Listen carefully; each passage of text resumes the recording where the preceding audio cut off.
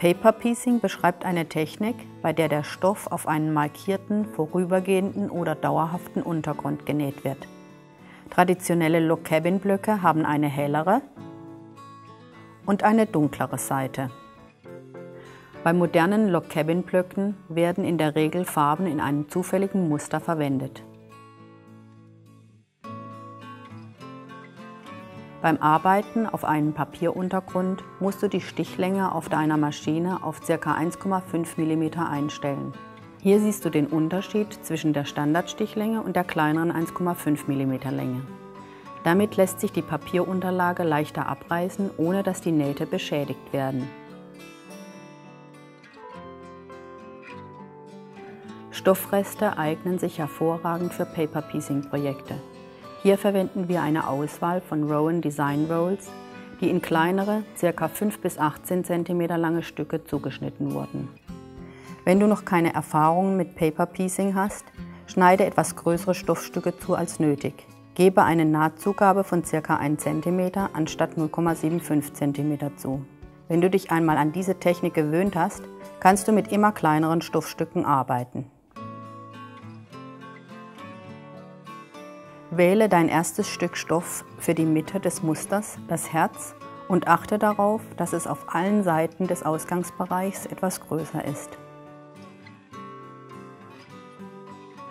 Drehe die Vorlage um, sodass die bedruckte Seite nach unten zeigt. Lege den Stoff mit der richtigen Seite nach oben in die Mitte. Die Enden müssen über die Linien des ersten Feldes hinausreichen. Lege das zweite Stück Stoff rechts auf rechts so auf das erste, dass die oberen Kanten aufeinander liegen. Stecke den Stoff mit einer Nadel durch das Papier fest. Drehe die Vorlage wieder um, sodass die richtige Seite nach oben zeigt. Lege sie vorsichtig unter den Nähfuß und richte die Nadel auf die gedruckte Linie zwischen Feld 1 und 2 aus. Das ist deine Richtlinie beim Nähen. Senke den Nähfuß ab, drehe langsam das Handrad, um die Nadel zu senken und überprüfe die Position auf der Linie. Nähe entlang der Linie, bis du Feld 3 erreicht hast. Achte darauf, nicht über die Kreuzungspunkte hinaus zu nähen.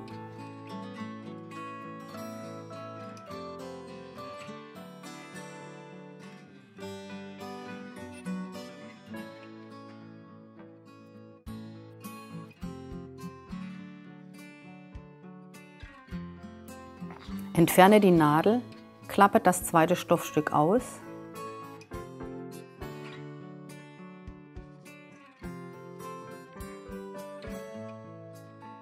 und bügle die Naht flach.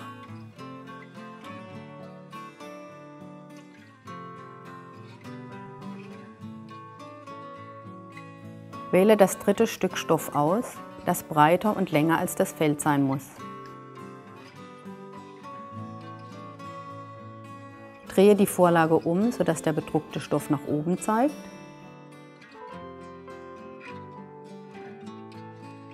Und lege das dritte Stück Stoff mit der bedruckten Seite nach unten darüber.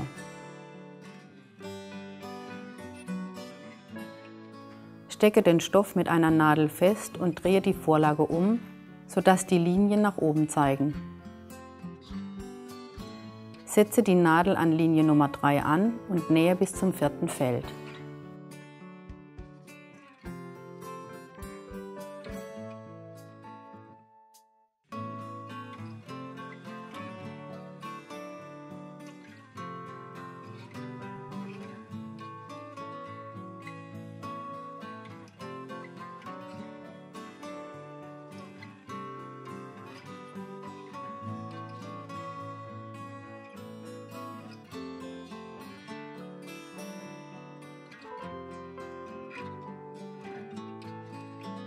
Um etwas von dem überschüssigen Stoff zu entfernen, falte die Papiervorlage entlang der neu genähten Linie und schneide den Stoff bis auf etwa 0,75 cm ab.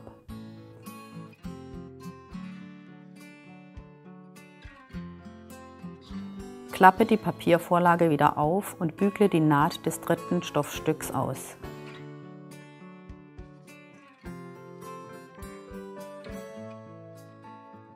Wähle nun das nächste Stück Stoff für Block Nummer 4. Auch dieses Stück muss größer als das Feld sein. Drehe die Vorlage um und achte darauf, wo sich Feld 4 befindet. Lege den Stoff mit der bedruckten Seite nach unten, fixiere ihn mit einer Nadel und nähe entlang der Linie bis Feld 5.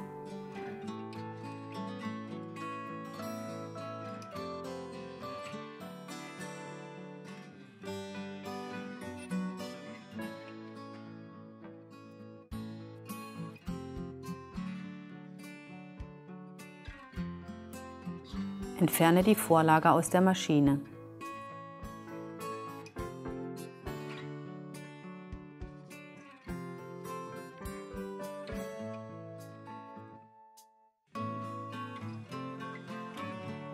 Falte das Papier entlang der neuen Naht und schneide den überschüssigen Stoff ab.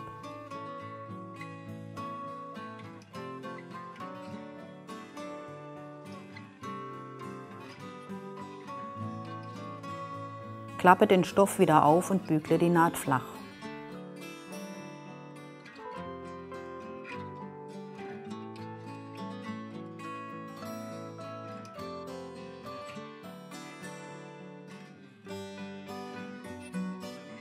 Das nächste Stück Stoff wird über Block 5 gelegt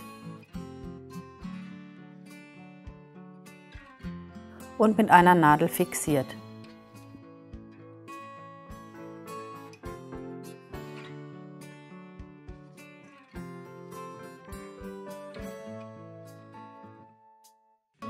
Nähe entlang der Linie bis zu Nummer 6.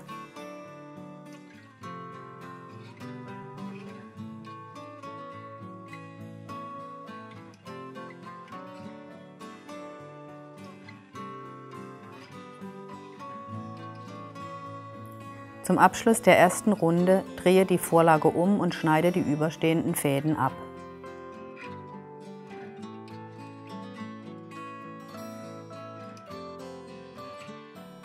Falte das Papier entlang der Naht und schneide den überschüssigen Stoff ab.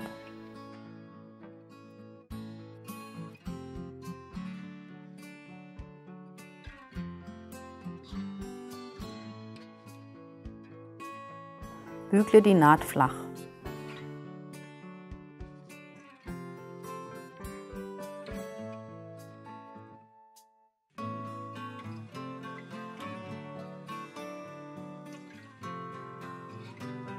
Wiederhole diesen Vorgang, bis alle Felder bedeckt sind.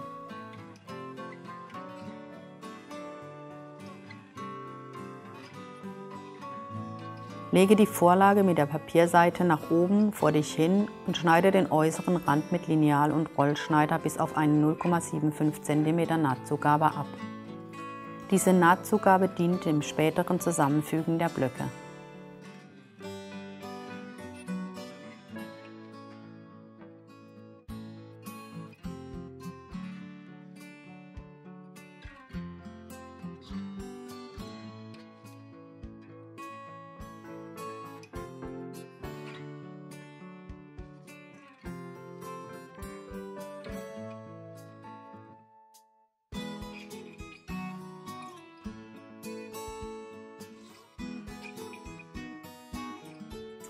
Falte die Vorlage entlang der Nähte und reiße das Papier vorsichtig ab, sodass der vollständige Log Cabin Block sichtbar wird.